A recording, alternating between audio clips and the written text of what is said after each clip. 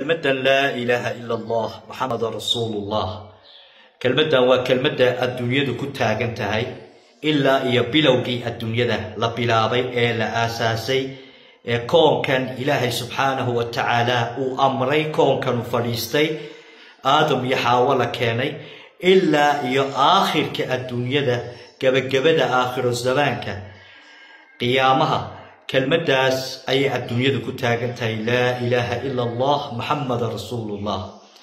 Kelmaddaas si kale haddaynu u macneyno waxa weeye albaabka laga soo galo islaamka waana furaha jannada. Qofku haddii uu ku geeriyoodo laa ilaaha ila allah maxameda rasuulullah waa kii nebigu lahaa calayh salaatu wasalaam dakhala janna. Waana kelmadda keliya ee la miisaamay adduunkan gebigiisaba iyo waxa kor jooga iyo kelmaddaas waa kelmaduu nebigu inoo sheegaya calayhi salaatu wasalaam. Uu lahaa koonkan oo dhan iyo wixii kor jooga haddii kafad la saaro. Laa ilaaha ila allahna dhinaca kale la saaro. Waxaa koraynaysa oo awood weynaanaysa laa ilaaha ila allah waa kiina lahaa nebigu calayhi salaatu wasalaam. Kelmaddan laa ilaaha ila allah maxameda rasuulullah qiimaha ay ku fadhido dhammaan shacabka reer somalilan oo dhan way garanayaan. Mid weyn mid yar gabadh islaan oday dhammaan waa la garanayaa. Kelmaddan laa ilaaha ila allah maxameda rasuulullah qiime ayay leedahay.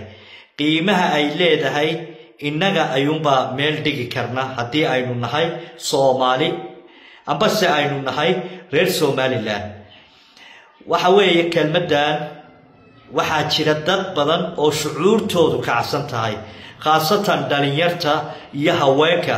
Shucuurtoodu aad bay u kacsan tahay. Waxaan arkayay maalin dhoweed qof nin ah. Ninkaas wuxuu ku labisan yahay dhammaan calanka somalilan. Ha ku labisnaado ma xuma waa dabaaldegayaa sanadkiisu u dabaaldegayaa wakhtigiisu u dabaaldegayaa ma xuma.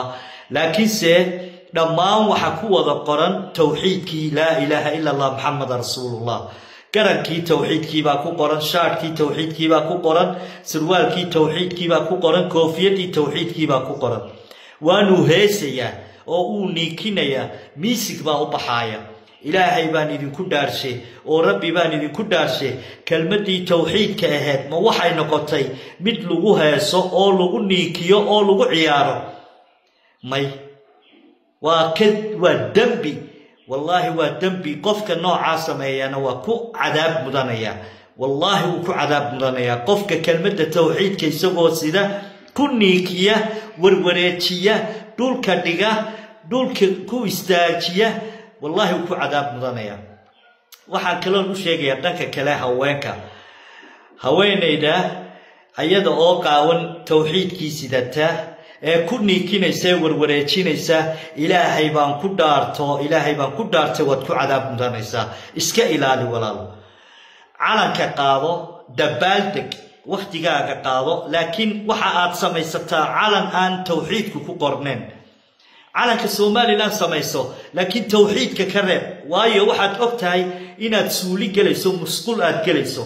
Waxaad og tahay inaad dembi ku dhacayso waxaad ogtahay inaad niikinayso. Waxaad ogtahay inaad caytamayso. Waxaad ogtahay inaad magaalada marayso. Waxaad ogtahay inaad kor u boodayso. Sidaad doonto samee laakiin towxiidka ka reeb.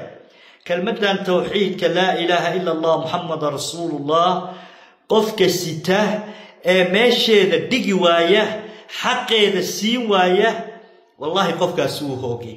Adduun iyo aakhiraba qofkaas waa hoogay. Warshilaaliya dhalinyarta reer somalilan baan la hadlayaa towxiidkiibaad sidaan meel uu u qalmo dhiga towxiidku calankaa in dhulka la dhigo looma baahna. In dhulka la dhigo looma baahna